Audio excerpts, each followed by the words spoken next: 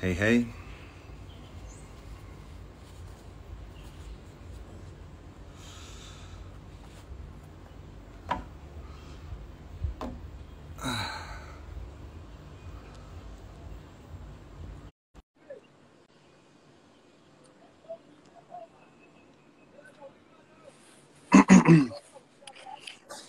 Čau. Hej, Čau, evo, sem, sem full časa iskal tole opcijo, da te noč spustim.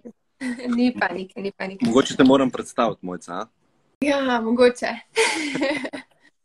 Ja, v bistvu Mojca je ena oseba, ki se ji nisem nikoli tako zelo javno zahvalil, ki mi ene dve leti ali pa let pa pol že v bistvu precej, precej pomaga pri projektu. In sem ji ful hvaležen za to, no. privatno sem ji povedal, no. zdaj pa še tako le javno. Tako da Mojca ti hvala za vse, kar v bistvu delaš pri tem projektu. No. Ker se res vidi, da srcem vedno pomagaš, pa si ful proaktivna in mislim, da je cela stvar šla zaradi tebe, vsaj to komuniciranje ne, na družbenih medijih na naslednjo raven. Ne, tako da ti ful, ful hvala za to. Ja, hvala, Klemen. Res. Cenim. Ja, v bistvu sva se nekako uh, dogovorila, da začneva ta live, uh, da bi v bistvu imel nek um, dialog s tabo.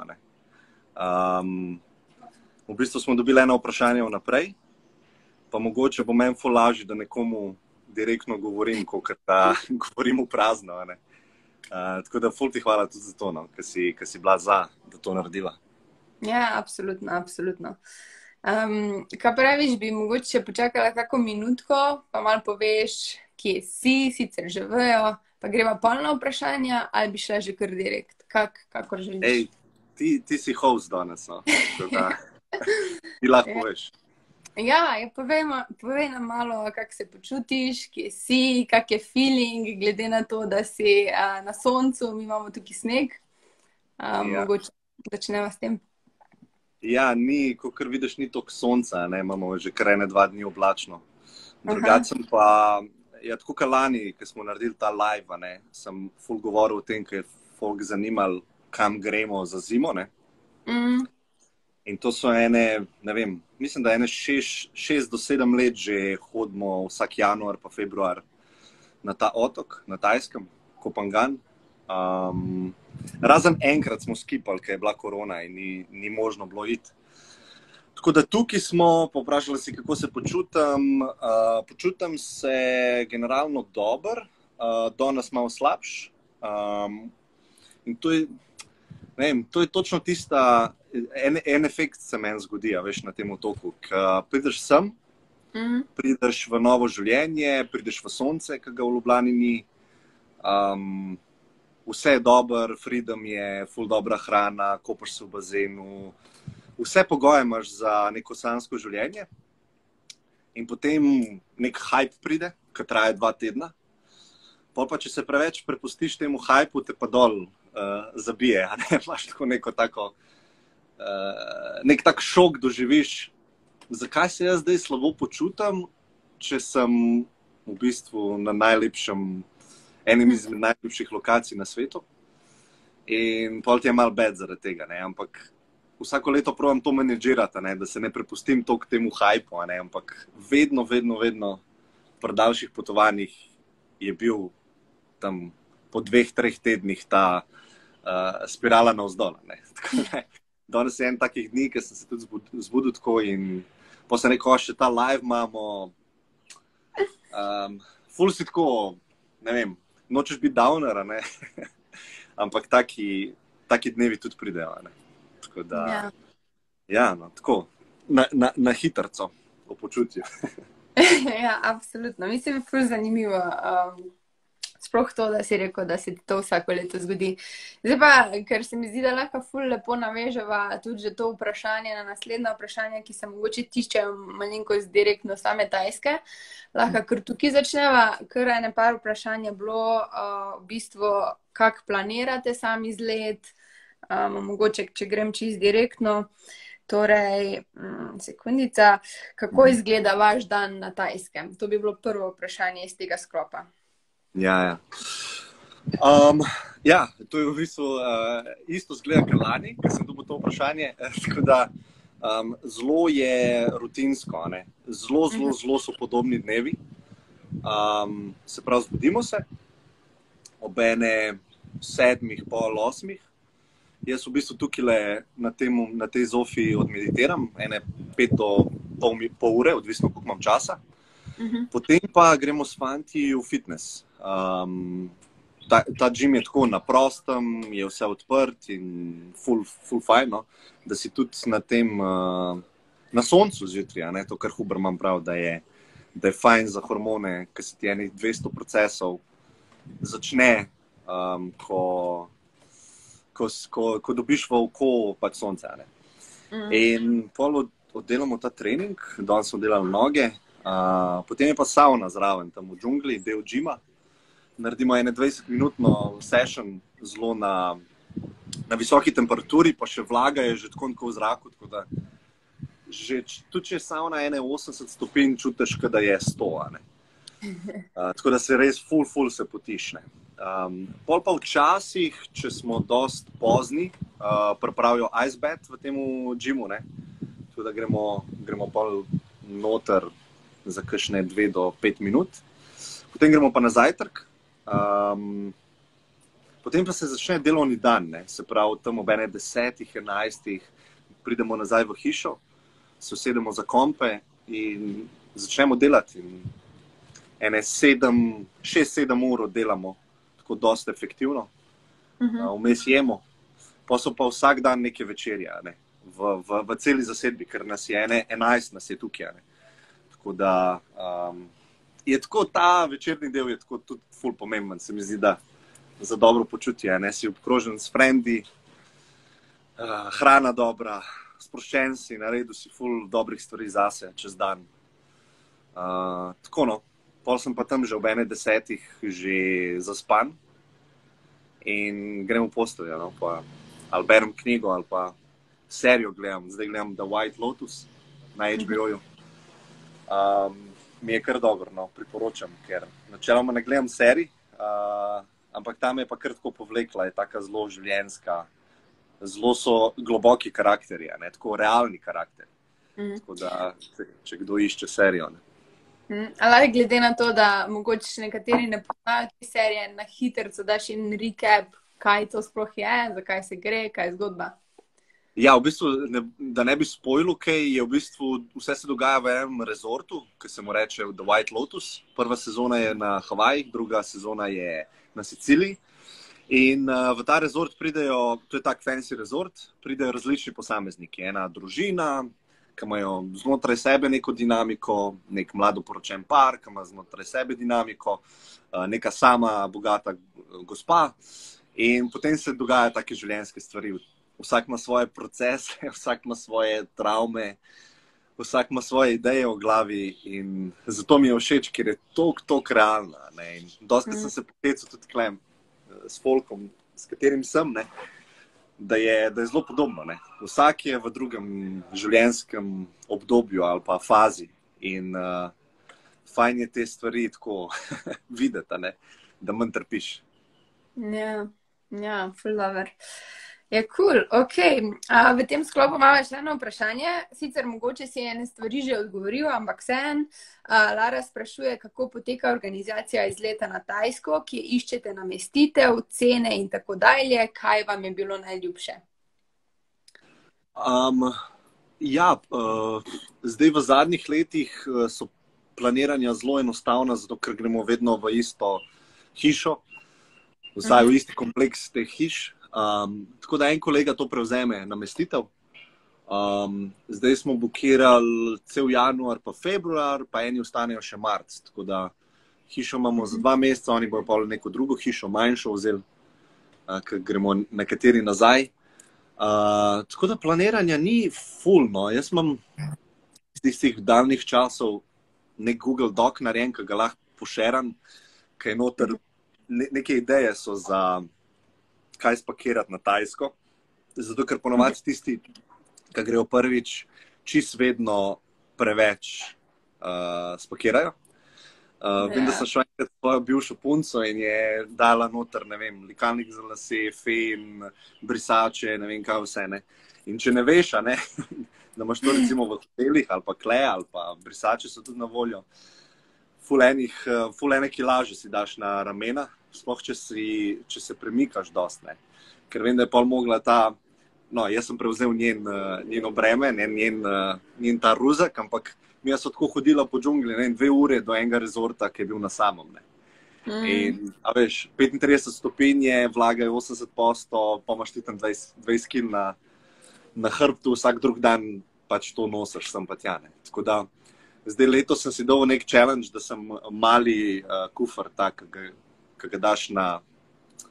Uh, Pronavijo, mislim, ki ga daš gor na, na ročno prtlago. Ne.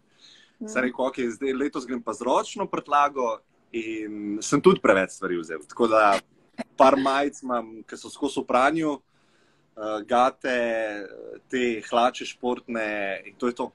Nimaš ja. nogavic, nimaš brisač, ničesar drugega sploh ne daš v, v, v, v kufara. Ne. Tako da, ne vem, take igrice vsak leta, ne, kapol tehtamo tam na, na letališču, doma največ, ne, pol zgubi. Ja, fuldover. Um, Imamo tukaj še to vprašanje, torej, kaj vam je, ali pa je reč, kaj je tebi najbolj všeč, da ne bova v imenu drugih govorila uh, na tajskem, ali v smislu dneva, ali v smislu okolja, čist konkretno. Ja, uh, ja vreme pač je moja, zdaj tudi, ker sem mal bolj padel v to sceno, koliko se mi zdi pomembno uh, sonce zjutraj pa koliko je znanstvenih raziskav na to temo, pa mhm. koliko zanemarjamo mi ljudje kot sonce, kot en tak ključni, ključni dejavnik za dobro počutje. V Skandinaviji to vejo, um, mhm. zato ker imajo veliko problemov z depresijo okoli tega, ker po, mesecu, po par mesecev ni sonca. Ne? Ampak ja, meni je v bistvu vreme. To, da sem obkrožen s frendi, da živimo skupaj, kot na nekem šoli v naravi. Ne? delamo vsak svoje stvari, fulje pogovorov, fulje novih idej. Um, tako da to, to bi jaz izpostavil, da mi je najbolj pač mhm. všeč. Um, ja, te, te ostale stvari, a veš, niti ni več tako pocen tajska, kot je včasih bila, ko, ko sem začel s potovanji. Tukaj v bistvu kvečemo več zaprava žnarja, kot doma. Mislim, mhm. definitivno, ker ješ veliko zunija. Ja. Um, Tako, no, se mi zdi, da če si narediš stacionarne počitnice, to, kar smo tudi v enem dialogu govorili, si lahko full produktiven tudi. Ne? In mm -hmm. zraven produktivnosti pa pride ponovadi dobro počutje, ker si ti na koncu dneva zadovoljen s tem, kar si naredil, kako je dan potekel, v bistvu kar nekako žariš. Ne? In uh, ne bom rekel, da se tega ne da doma, no, ampak recimo sonca se sonce pa res težko nadomestiš v Ljubljani. No. Zdaj sem si sicer kupil eno, ta, eno lučko na Amazonu, ki se reče Therapy Light. To uporabljajo za terapije v Skandinaviji, uh, za ljudi, ki so premalo izpostavljeni soncu. Gre pa za neko tako lučko, ki je ploščata in oddaja ful te podobne svetlobe kot sonce. In to si daš na mizo zjutraj. Prej začneš delati in si jo vklopiš, in ti v bistvu sije v, v obraz če nimaš sonca od zunije. Definitivno je pa dobro vaniti, če je vsaj malo svetlo, no, tako ker zdaj le je oblačno, ampak to tudi pride česa. Ja, ja, kul. Cool. Deva, mogoče se še samo malo ustaviti pri vprašanju, zdaj, glede na to, da lahko primerjaš pretekle izkušnje na Tajskem, letošnjo izkušnjo, pa tudi življenje v Sloveniji. Dej, kaj pogrešaš? Vem, na tajskem od Slovenije, ali dejansko ni ničesar, kar bi rekel, hej, to mi pa res manjka. ne, ne, ne, neč, neč, neč. Mislim, te, to, to je zelo ena tako zanimiva zabloda, ki sem jo imel doskrat v lifeu, je, da sem razmišljal o takih stvareh. Ne? Se pravi, nekje sem in pa razmišljam, kaj temu manjka, pa kje bi lahko bilo boljš. To je v bistvu taka vreča brez dna, uh, to razmišljanje. Ne? Ker tudi če zadovoljiš te ideje, ki jih imaš, kako bi lahko bilo boljš. Imáš to adaptacijo, ki pride uh -huh. čez mhm. dva tedna, tri tedne. Ne? Hedonistična adaptacija, se reče v psihologiji. Uh, mislim, da sem na enem predavanju dal tisti primer, ki je full znan, da so vprašali ljudi, ki so, uh, preden so zadeli na lotu, koliko so srečni, pa te ljudi, ki so, preden so postali uh, tetra ali pa paraplegiki, se pravi invalidi. Ne? Mm. Uh, ne, takoj, takoj po dogodku so jih vprašali. Ne? In te, ki so zadeli na lotu, so bili so fulbal ocenili svoje zadovoljstvo nad lifeom, ne? te, ki so postali glihkar invalidi, seveda zelo slabo so ocenili uh, svoje zadovoljstvo v lifeu. Ne? Ampak potem mislim, da čez dve leti, da se je vrnil nazaj na stopnjo pred tem dogodkom, ekstremnim. Uh mhm, -huh, In uh -huh. temu efektu se reče uh, hedonistična adaptacija, oziroma hedonic treadmill, tudi včasih. In uh, nikoli ni dovolj, zato ker se sčasoma tvoj hormonski sistem, pa ideje, na, na, navadijo ne, na, na to dobro stvar, ki jo imaš. Pol, ali jo rabiš še več, pa to pade v neko kategorijo odvisnosti. Ne. Mm. In um, ne vem, no, sčasoma se mi zdi, da vsi, ki so malo starejši, da se naučijo, kam te ideje ali pa kam ta razmišljanja vodijo. Ne. Mm. Uh, neposredno v nezadovoljstvo, v raju, ne? tako kot jaz danes uh, občutim. ja. Ej, uh, mogoče se zdaj navežemo še na druga vprašanja, ki pa mogoče so skladna zelo s tem, kar si trenutno povedal, pa se mm. mogoče um, dva sta v bistvu. Eden je, uh, kaj bi svetoval 18-letnemu klemnu, drugi mm. je pa, kaj bi svetoval 20-letnemu klemnu. Tako da jaz mislim, da lahko to malo združiva. Um. ja, čist druge stvari. ok, ok, pa, pa gremo prvo na 18-letnega. Ja, e, to, to vprašanje je tako, tako pogosto, da imam pripravljen, nažalost, odgovor, ampak lahko bi šel pa tudi v drugo smer. Um, uh. -huh. Ne vem, ponavadi rečem, da, da na sveta ne uh, za 18-letnika ali pa za sebe je, da ne upoštevaš na svetu, tudi od tega prihodnega klemna. Mhm. Mm, zato, ker po moje se je dobro čim prej v lifeu naučiti razmišljati svojo glavo, pa na, na svojih napakah. Um, ker doskrat slišimo to, ne, zakaj bi se učil na napakah, na svojih napakah, zakaj ne bi sam bral knjige, pa bi se naučil napakah drugih in bi si prehranil to bolečino, ampak zdaj trenutno, zdaj trenutno v tem življenjskem obdobju razmišljam, da to ne vem, če deluje čisto. Da v bistvu ne vem, če lahko zamenjaš dejansko izkušnjo za karkoli drugega ali pa za neko racionalno razumevanje situacije. Um, uh -huh. Ne vem, kaj da bi, a veš, ne vem, a veš, recimo imam imaš jabolka, ne, pa ga nikoli v lifeu ne boš ugriznil, ne boš občutil, kakšnega okusa je, kakšno teksturo ima. Ampak ti ga boš cel life v bistvu samo bral knjige o tem jabolku, ali pa boš um, na. Uh, na jo. ali pa boš uh, v bistvu ga pod mikroskopom gledal, ali pa take stvari. Ne. Ti ne boš za, za res nikoli tega jabolka poznal. Ne. Tako da, um, ne vem, zdaj zadnje čase se mi zdi, da moraš nekako izkušnje imeti čez. Ja. Um, da moraš dati izkušnje čez.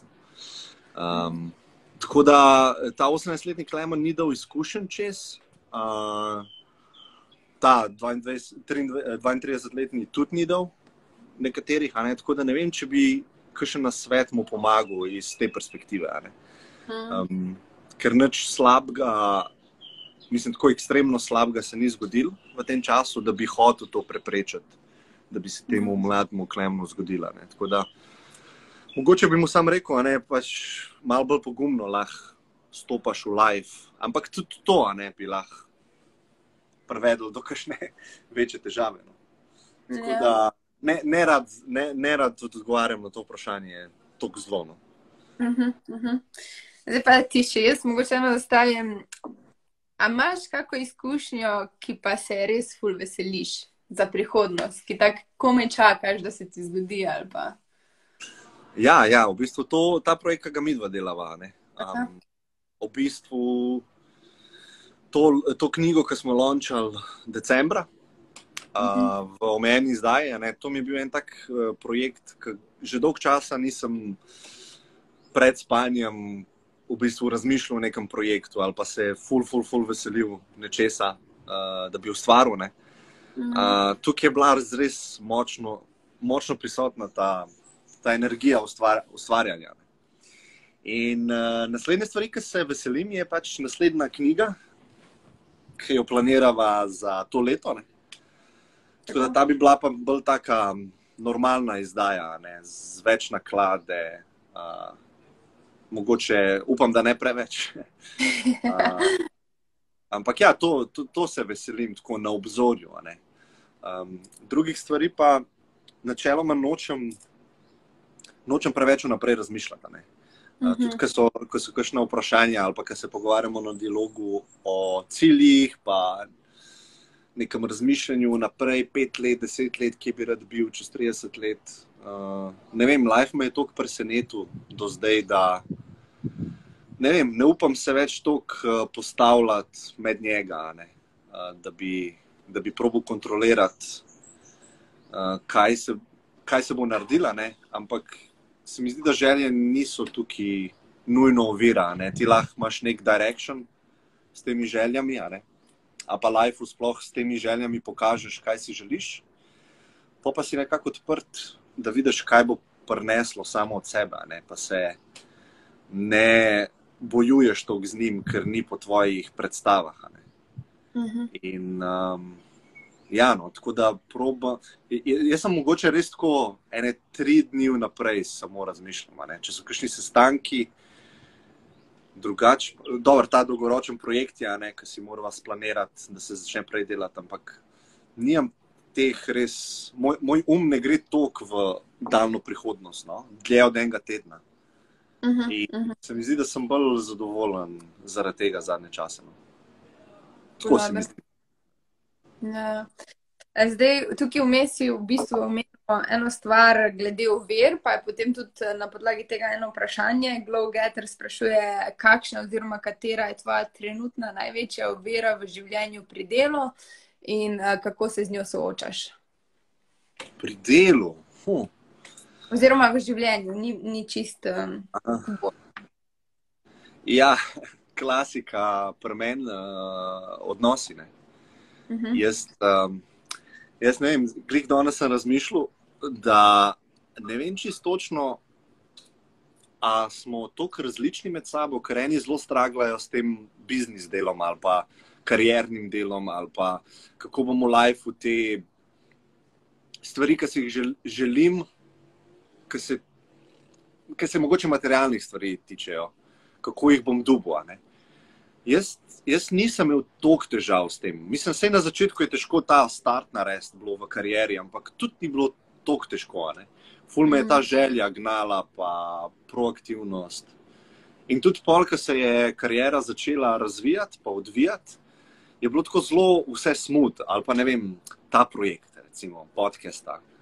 Um, zelo smutno. Tako, folk si zelo predstavlja, da je to nek ful uložene energije, ful enega truda, ful, ful razmišljanja, ful je vse premišljeno.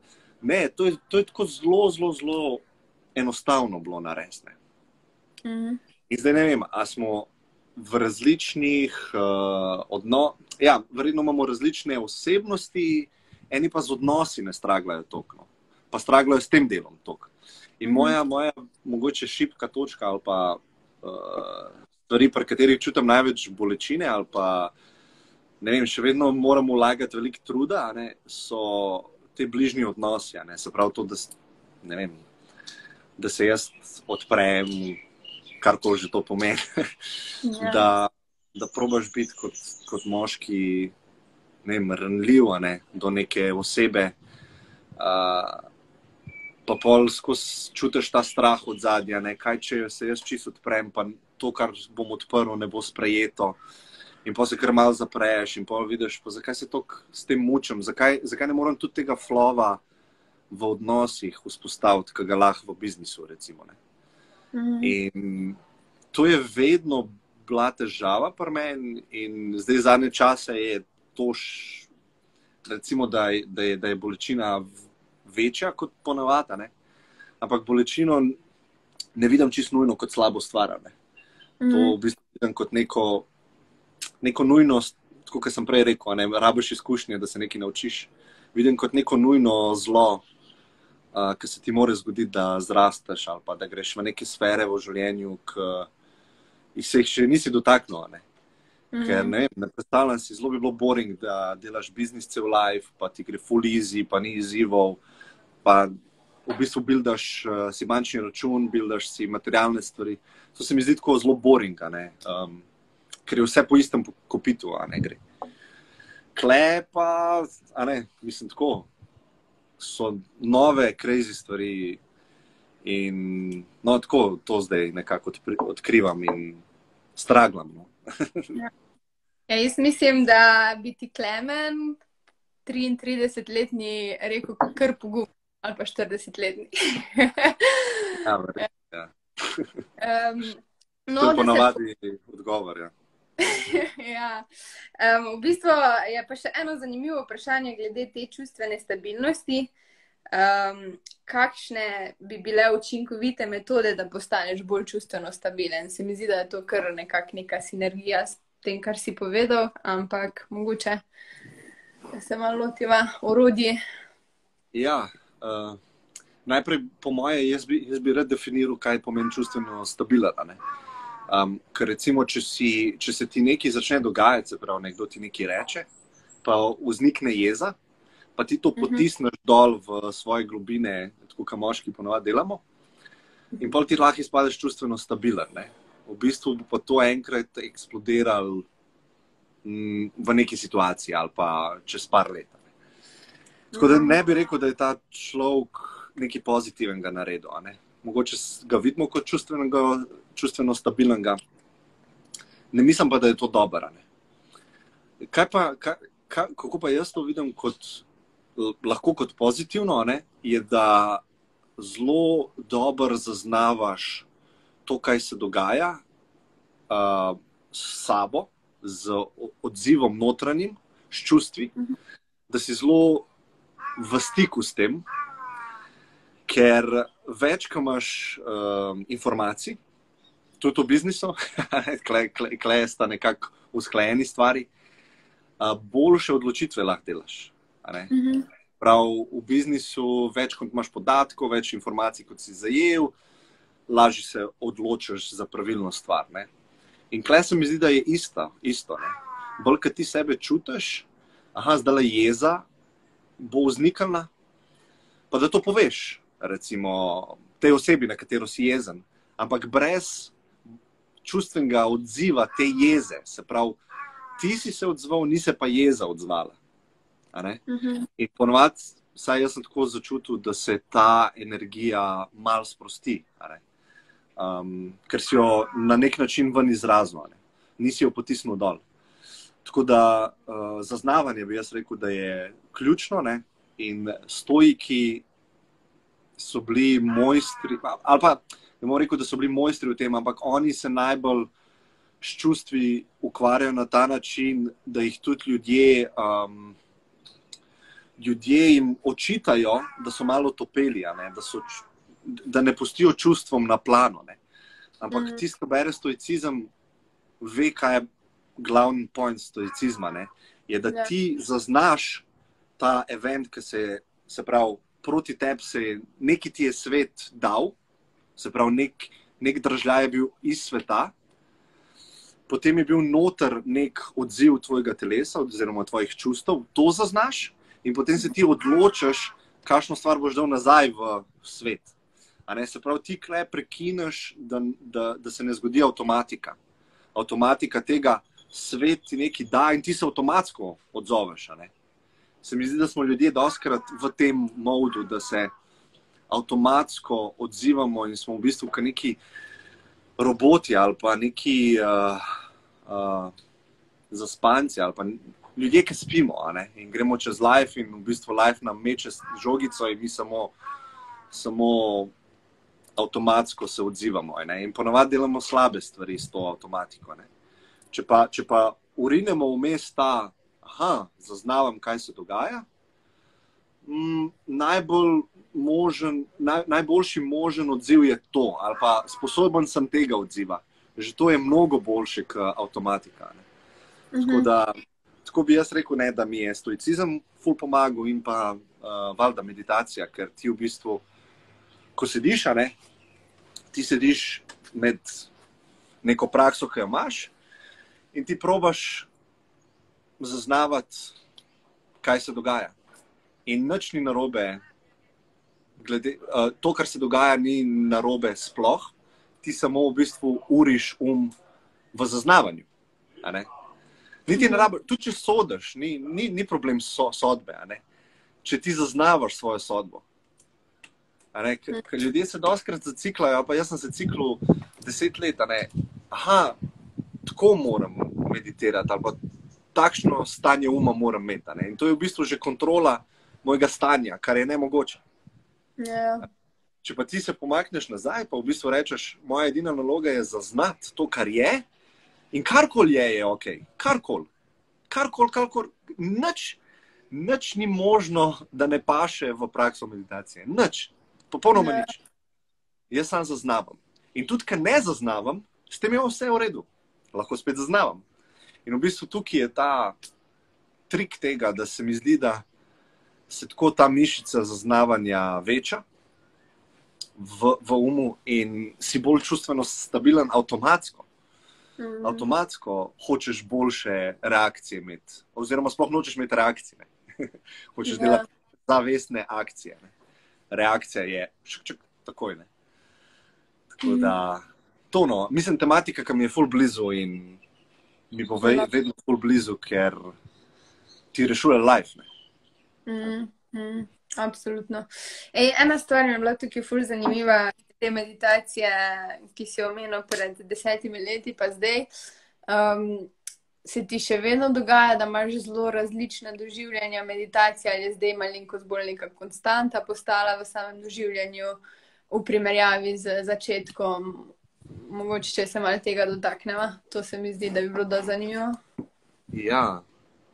Uh, na začetku sem v bistvu prevedel me v to, uh, nek cilj v glavi. Ne? Tako kot verjetno čisto vsakega človeka, ki je kadarkoli hodil po tej zemlji, pa se je začel ukvarjati z neko introspekcijo ali pa meditacijo v tem primeru, karkoli že to pomeni. Mhm. Je bil nek cilj v glavi. Ne? Se pravi, um, če bom delal to, mi je bilo obljub, obljubljeno iz zapisov, učiteljev, kogarkoli, ki je kadarkoli govoril o tem, da mi bo to preneslo nekaj. Se pravi, ponovadi je bilo v starih časih neko razsvetljenje, ponovadi ne, ta svet igral. In s tem duhom ti pristopiš v to prakso. Ne. Tako kot pristopiš v kjerkoli dejavnost, ki jo ustvarjaš v lifeu. Zakaj moram zdaj te kokose tja prne, zakaj moram si nasekati drva, zato da mi bo zvečer toplo. Ne. Se pravi, vse ima nek, nek cilj v sebi, vsaka moja dejavnost nosi neki. Zdaj pa začneš s tem, in vidiš, da je to v bistvu slepa ulica, ampak to vidiš, ali pa jaz sem videl zelo, zelo, zelo pozno. Predvsem pa zaradi tega, ker ti dejansko da meditacija benefite. Ne? Dejansko ti jih da. Bolj si miren, bolj si fokusiran, bolj si zadovoljen, bolj spiš. Vse to, kar znanost v bistvu potrjuje zadnja leta in na tem področju se ful dogaja. In ti dobiš te benefite. In potem pa ti hočeš nekam globje, ne? kje je zdaj to razsvetljenje, kje je zdaj to, kar se v bistvu govori, da je point meditacije, ne? kje je zdaj to, pa kako bi jaz, jaz klemen, prišel do tega. In potem vidiš, da s tem ciljem v bistvu konstantno se zabijaš v steno, ali pa da je to slepa ulica. In potem to dojamaš, ali pa ti nekdo reče, da probi samo sedeti. Se pravi, ne da meditiraš, samo sediš, niti ne meditiraš. Ne? In potem ti rečeš, aha, se pravi, tako da, da bom jaz prišel do tega svojega cilja, ki je razsvetljenje, moram jaz v bistvu zbrisati iz svoje glave ta cilj. In to v bistvu je neka taka stvar v egu, če, če, če ste pozorni, kaj sem to rekel, to je v bistvu zamaskiran cilj. Ne? Mm. Jaz v bistvu se bom znebil cilja, da bom prišel do cilja.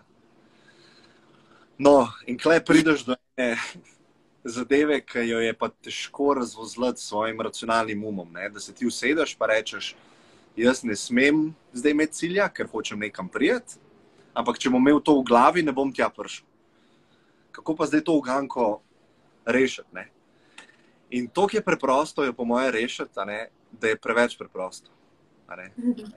Da prav rešiš tako, da samo sediš.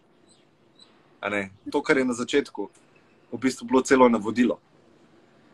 In ne vem, po je to, po mojem, celo življenjski proces, ki te meče not ven iz tega, ki v bistvu vse nas je noter v tem, ker itak ni cilja. In v bistvu se zjutraj usedeš k meditaciji samo zato, ker za noč v bistvu. No, tako.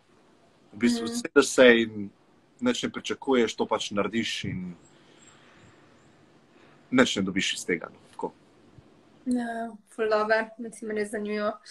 Ok, zdaj glede na to, da je tole vprašanje, um, se mi zdi, da bo, da bo kul, če te vprašam zdaj na tej točki, kaj bo rešilo svet. Jaz imam eno vprašanje za tebe, mojca. A ti vidiš ta vprašanja, kle spodi? Uh, ne. V, v ta question oblaček. Ne, mislim, da veš kaj, jaz nimam te možnosti, ker sem gost. Ali? Oh, shit. Invite to join. Aha, ja, vidim. Ja. Ker jaz imam kle ta oblaček in imam not full vprašanj. Ah, ok, čakaj, čakaj. Um, kaj ti še rečeš? Jaz tebi ne morem dati pravic, ne. A, a, a, ne, ne, ne, čakaj, čakaj. Pozdravljena, kako gledate na kratko. Aha, vidim. To, to, to. In pol, okay. pol daš, klikneš ga. Uh mhm. -huh. A ja, zdaj sem ga dal not, sorry. okay. Ampak poglej, če lahko ti to delaš, ker to je ta prav QA opcija. Jaz lahko sam lajkam. Ja, ok. Lahko pa vidiš. Tako, tako, tako. Ok. okay. Ok, bom tega skenil, ker to, to sem že odgovoril. Um, le, bom kar da odkole. Po vrsti, ne bom več bral. Pa. Ok, kul. Cool. Torej, če ki sem. Um, sam je iz tega vprašanja, ko si ti zdaj nekam dal, pa ne vidim, veš? A res ne? Ne. Po moje bi mogli to vsi videti, kle spodaj na glavnem skrinu. Aha, torej kao answered questions. Questions from stories. Če se te strah izgube službe, bližnjih višine, utesnenih prostorov in kako se soočaš z njimi. Um, ja, vse, vsega tega. Jaz mislim, da, ja, da je prav naštet, uh, recimo, te utesnjeni prostori, to definitivno. Ne vem, ne vem, če kdo kdaj videl na TikToku tiste, um, ki se eni snemajo v jamah. A si mm -hmm. videl to? Mislim, da ja. ja. Sprav grejo tako zelo oske uh, v jamo, ki gre vedno ožje, ožje in pol more se on plazati in pol se skoraj zatakne in se tako le snema z, z selfie stikom. Ne vem, jaz kar enkrat postanem, um, ko to gledam. Mislim, sej, se po mojem nisem edini, ne? se to je pogosta stvar, no, ampak se mi zdi, da te mali prostori, ne vem, to, da se ne moreš premikati to mi, ne vem, to je, to je po mojem, mojem največja nočna mora. Ne? Da bi te nekdo mm. zaprl v neko tako, da ne moreš niti, niti malo se premakniti. Ne? Po moje, znorim v petih minutah. Čeprav, čeprav, veš, kaj se mi je zgodilo na Šrilanki, ne vem, če sem to zgodbo povedal, ker sem šel na vlak iz, uh, iz Kolombota, glavnega mesta, do Malake. To je, mislim, da je ena triurna vožnja um, z vlakom in jaz sprejem gor s svojim backpackom, tako full velikim in začne full masa folka iti na ta vlak, na glavni železniški postaji. In to, da te tako stisne ob, ob steno in si čist stisnen, in pol še dofilavajo. In potem te čist stiska ob steno in slab zrak in vroče. In jaz, ko, a mi se bomo tako zdaj furali, in vlak se začne furati. In meni, mislim, tako sreča, da sem mal višji od njih, ne, da nisem bil čist noter v temi, ampak takrat se mi je pa začel tak anxiety, ki je res tak smrten strah. Smrten strah sem čutil. Uh, redko v življenju, mogoče kdaj na gobah, sem, sem čutil take feelinge. In uh, mislim, takrat mi je pomagal, ker nisem imel pač nobene druge izbire, da sem zaprl oči in sem začel se fokusirati na dihanje. ne. Mm. In v bistvu sem se uspel tako pomiriti, da nisem naredil take panike, da bi, da bi me mogel vendati. Ne. In um, takrat sem videl tako na praktičnem primeru eh, power tega, da si sposoben, ne vem, preusmeriti fokus nekam drugam, ne, takrat, ko je potrebno. Um, in zdaj, ko delamo te icebete, ko gremo v let noter, uh, navodilo je točno enako. Ne. Ti v bistvu takrat greš v ta let, in manj ti gre v čisto paniko, čisto paniko. In da ti to prelisičiš, ali pa da overridaš to paniko, začneš v, v umu risati kvadrat. Tako. In vsaka stranica je vdih, 4 sekunde, pol naslednja stranica je 4 sekunde, držiš dih, pa pa Mhm. spet vdih, uh, izdihneš 4 sekunde, pa spet 4 sekunde držiš dol, pa spet vdihneš 4 sekunde. Ne? In v bistvu je kar kompleksna, tudi kar sem zdaj razlagal, je kar kompleksna stvar za met v glavi. In s tem v bistvu vidiš, da overridaš ta svoj uh, lizard brain, ne, ki hoče sam ven, ker je v bistvu v neki smrtni nevarnosti, ker ima voda nič stopin. In uh, sčasoma se to umiriš, da te neha motiti ta občutek. Mm. In pol si lahko 5, 6, 7 minut v icebetu, kar je tako crazy, crazy, če pomisliš na prvih 15 sekund. Ker Ja. prvih 15 sekund gre vse tako, eksplodirati glava tako, kva, kva se zdaj dogaja. Edina želja je, da greš ven iz te situacije. Ne.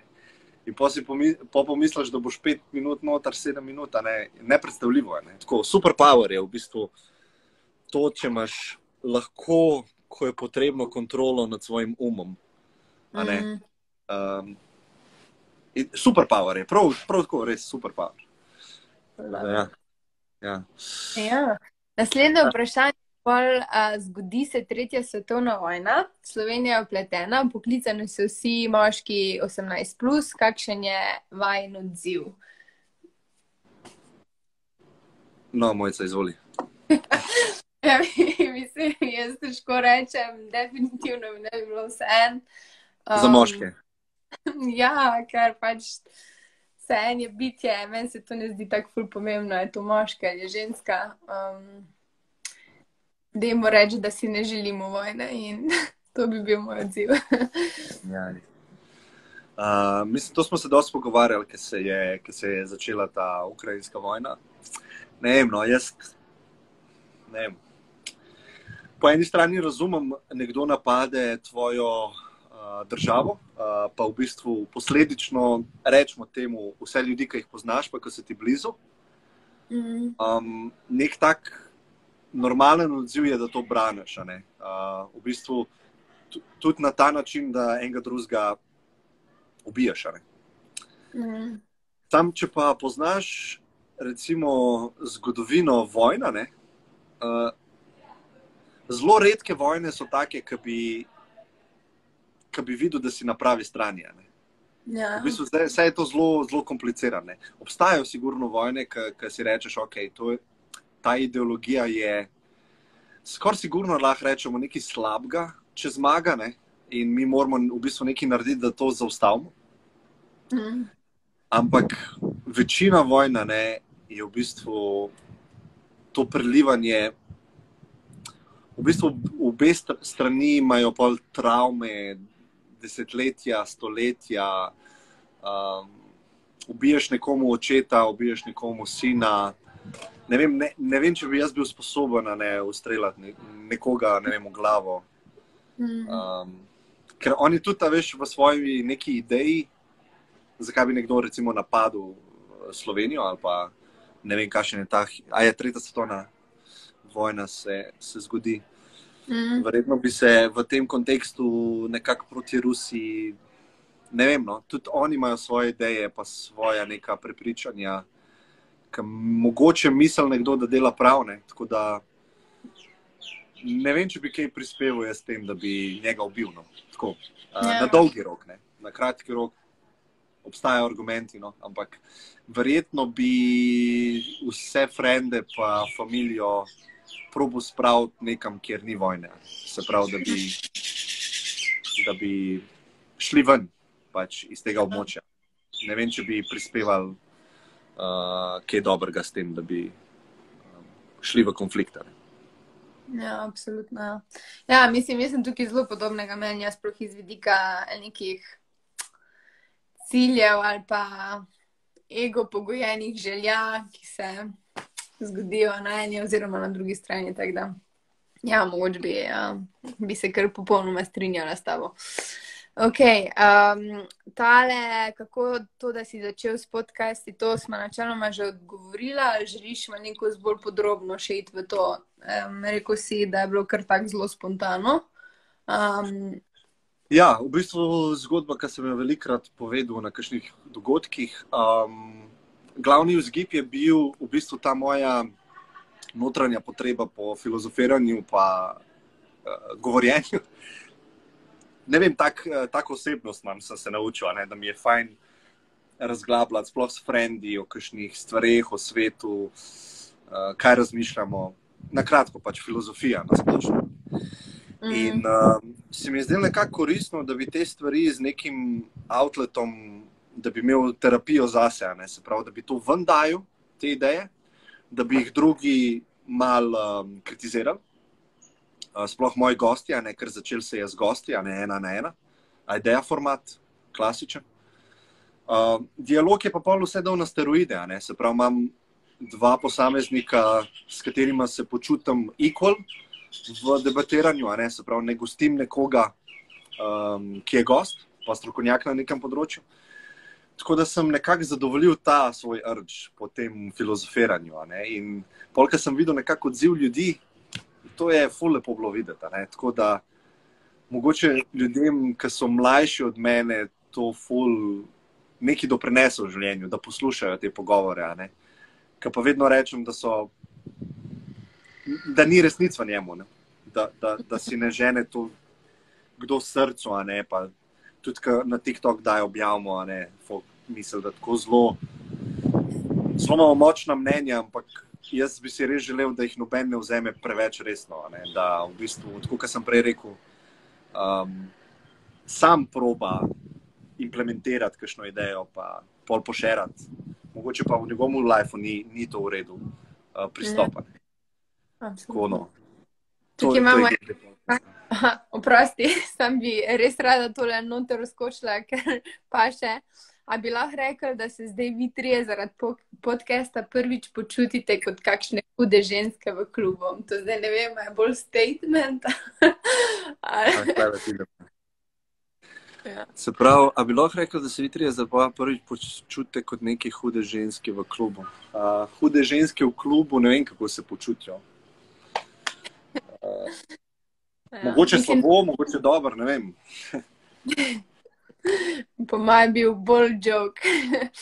Ja, sem, sem. ja, tako. Um. Okay, um, Ne, se lahko odgovorim. Se lahko odgovorim. Uh, ne, ne. Um, ja. nažalost ne. Okay. Um, kaj ti je najbolj všeč pri delanju podkastov in odkot izvira največ tvojega prihodka? Um, najbolj všeč pri podcastih mi je to, da uh, ne, v bistvu tako, ko ga delam, se pravi, ko ga snemam z kakšnim gostom, se ogromno pač učim, um, full svoje radovednosti potešim. Tako da to je en tak highlight tega, to, da se objavi, je v bistvu zelo sekundarnega pomena, če za res. Uh, nimam več hajpa predtem, ko objaviš epizodo, pa pogledaš, koliko je lajkov, koliko je viewjev. V bistvu tega skoraj več ne delam. No. Tako, res objav se, taka rutina je zdaj že tri leta, vsak teden. tako da se s tem, kaj se zgodi potem, ko je objavljen, sploh ne ukvarjam toliko. Uh, mm. Če za res. Se mi zdi, da je, da je to dobro pri ustvarjanju, da se fokusiraš na ustvarjanje in potem šipaš to, kar je bilo mhm. ustvarjeno, ven v svet, kar je lahko zelo skeri, sploh na začetku. In potem nima veze, kakšen je outcome ne, tega. In ti si polžen na naslednji, naslednji stvari pri ustvarjanju, ne, naslednji epizodi, v mojem primeru, ali pa naslednji sliki, če si slikar. Mm. In uh, to mi je najbolj všeč. Uh, bi pa še eno stvar izpostavil, ne pač vsa sporočila, ki jih dobim, maile ali pa bom celo rekel v živo, ker uh, imam interakcije s Folkom na live eventih to je v bistvu definitivno highlight. In to smo se tudi z Janjem in Andrejem pogovarjali. Da, mislim, to je, ko se zaključi live podcast, live dialog, pa imamo v bistvu ena na ena druženja s tem folkom, ki je bil v občinstvu. To je tako dobre feelinge, čutiš, da je to nekaj nevrjetnega. Ne? Tako vse zgodbe, ki slišiš, vse lepe stvari, uh, ki ti jih povejo ne, o tebi pa o projektu. To je v bistvu definitivno highlight, ne? ker nekako tako celo stvar naredi fulbo sladko. Um, tako da to res fulcenim in ne vem. To, zato sem pa res zelo hvaležen, no? Mm. da, da mi ta projekt nekako daje. No? Lepo. Ja. Ja. Ja, nice. e, mogoče tukaj je bil še tisti del vprašanja, kaj je to, oziroma kaj ti prinese največ prihodka, podcast. Ja. ja. Uh, v bistvu, definitivno moj ta profesionalni aspekt tega, da sem UX designer, se pravi, da se ukvarjam z uporabniško izkušnjo. -huh. Že ene sedem let sem freelancer, uh, zdaj zadnje, zadnje leto v bistvu sem kot partner v enem startupu, kjer delam full time. Um, tako da to mi še vedno največ uh, prihodka uh, prinese. Zdaj podcast, pa veš, tako, dosti folka misel, da sam to delam. In mm. meni je to tako, ko poznamo zadnje, tega, kako se s tem služi, mi je tako ful smešno. Ampak se, zavedam se, da, da folk eh, ne ve, koliko prenese ena taka stvar v Sloveniji. Ne? Uh, pa kakšne imaš možnosti, sploh monetizacije? Ne? Imaš možnosti pač čistko direktno na YouTubu, da se oglasi vrtijo pred uh, epizodo, recimo temu 100 evrov na mesec, ne lahko dobiš s takim obsegom. Um, pol pa v bistvu donacija, ne? folka, ki je prijavljen na YouTube kot member, dobijo malo prej uh, dialog epizode, dobijo malo prej uh, obvestila o special live eventih, um, nek določen, določen znesek, če na mesec daš, ti damo hudi, ki ga sploh ni možno kupiti. Tako da to so nekakšne um, možnosti, ne? e, možnosti pa tudi uh, sponzorja, se pravi, da bi sponzorje direktno vzela, ne pa bi pred neko epizodo jaz povedal nek eh, line od sponzorja, pa povabil na nek link. To pa nisem se čisto res lotil, pa ne vem, koliko bi bilo od tega uh, um, mesečnega prihodka, ampak po feelingu imam, če bi vse to združil, pa bi res sponzorje vzel, da bi lahko pustil svoj navaden job. Ne. Se pravi, da bi me lahko podcast sam po sebi preživljal. Ampak mogoče ne bi mogel tako hišo na Tajskem, mogoče ne bi mogel za toliko časa na Tajsko, za enkrat še eno. Ampak jaz mhm. imam eno drugačno idejo okoli podcasta, kako bi se lahko to financiral. Uh, in sicer to je, to je s tem direktnimi donacijami. Ne? Se pravi, mm da bi mhm. zgradil nek tak komunity, ki bi jim bilo vredno dati 5, 10, 20 evrov na mesec, to podpreti, dobiti mogoče neke special epizode. Um, da bi samo oni bili na live eventih, ki bi delali ekskluzivne, mogoče malo večkrat. Tako malo razmišljam v to smer, ampak vse sem rekel, ne, ne, ne dajem toliko svojih dolgoročnih idej, pa ciljev na silo v ta projekt, ampak pustim, da se samo to malo marinera, itek je vedno več teh podpornikov, ki vidijo vrednost tega, da nimam uh, oglasov na, na epizodah, da mi to daje neko svobodo, uh, da se lahko izražam, kot se pač hočem izražati, da ne pazim, da bo te, temu sponzorju to všeč, kar sem zdaj rekel. In se mi zdi, da oni, ki to razumejo, bojo tudi podprli to tako finančno, pa direktno. Tako da mogoče se mi zdi, da prihodnost bo taka, no, da se bo zgradil nek tak komunity ljudi, ki bomo lahko to skupaj pač ustvarjali. Mm. Ja, ja, absolutno se strinjam. Um, ok, greva mogoče na naslednjo vprašanje. A je oseba na splošno res zelo omejena glede službe, če nima dokončanega faksa? Um, ja, mislim, v mojem primeru ne. Se pravi, jaz bi tako rekel, da biznis, karkoli v biznisu, ta oseba ni zelo omejena, če nima dokončanega faksa. Karkoli se tiče podjetništva, ta oseba ima mogoče celo škodo, če ima dokončan faks. Ker v bistvu gre v neke kalupe, pa ali ne, se mi zdi, da škodijo podjetniku na splošno. Um, Sigurno so pa službe, tako kot smo imeli takrat na live eventu, nekoga, ki se šola za zdravnika. Uh, ja, pač totalno si omejen, uh, glede službe, če nimaš faksa. Ne. Ampak mm. se, ni, se mi zdi, da zdaj, kako se spremenja svet. Prejšnjo vprašanje, ki sem ga dal, ne, se pravi, da se da z nekim ustvarjanjem na netu, česar koli mogoče preživljati, ker pred 40 leti internet sploh ni obstajal um, obstajajo nove možnosti ne, za, za to, da si dejansko kruh um, prislužiš. In jaz mislim, da zadostna mera nekega pešna, strasti, igrivosti v lifeu, um, zanimanja, radovednosti. Um, mislim, ne vem, ne vem koliko ti faks, uh, koliko bi faks pomagal eni taki osebi, ki ima vse te karakteristike. Ne? No. Se mi zdi, da bi mogel se zelo potruditi, da bi najdel neke jobe, ki bi pa res imel omejitve. Tako kot smo prej rekli, ne vem, pravnik ne moreš biti, ne moreš biti uh, zdravnik. Ne. Ampak te, te stvari, v katerih sanjarijo nova generacija, ne, se mi zdi, da moraš biti malo bolj iz, iznadljiv, ker je svet res toliko ima možnosti ne, in nagradi res te, ki jih vidijo, ne, ki ne grejo po ustaljenem kopitu faksa čez life. Um, mm. Te, ki so malo taki odpadniki, malo taki rebeli, ne poslušajo toliko staršev, ne? nekako svoj life si zgradijo. In jaz sem bil full, full, full taka. Ne?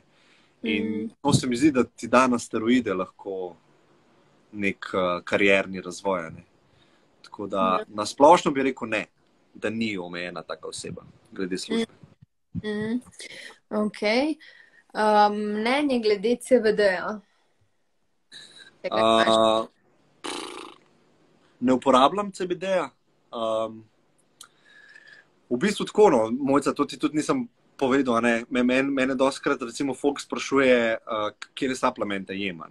Um, vsak dan, ker je, jem jih ful, in uh, veliko sem porabil nekega časa, da sem si naredil to neko rutino, kaj, kaj je boljši jesti, kaj je mogoče dober uh, jesti.